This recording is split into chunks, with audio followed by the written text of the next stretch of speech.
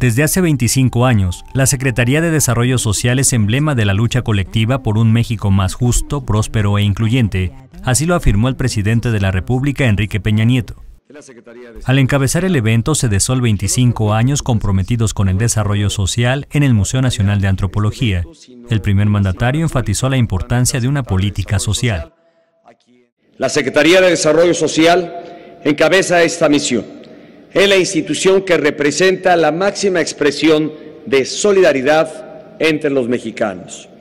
Desde hace 25 años, la Sede Sol es emblema de la lucha colectiva por un México más justo, próspero e incluyente.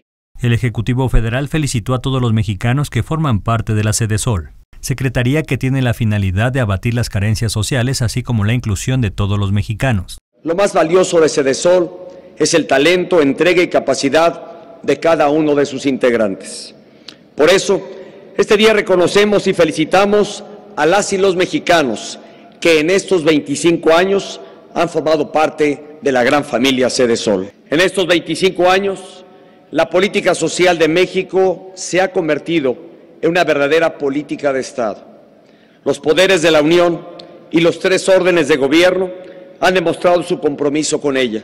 La sede Sol desempeña un papel central como coordinadora en la promoción del desarrollo social.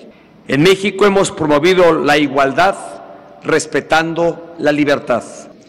El México que queremos, el México por el que trabajamos, es un país donde nadie debe quedar atrás.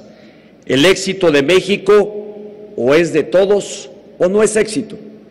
La Secretaría de Desarrollo Social encabeza esta misión.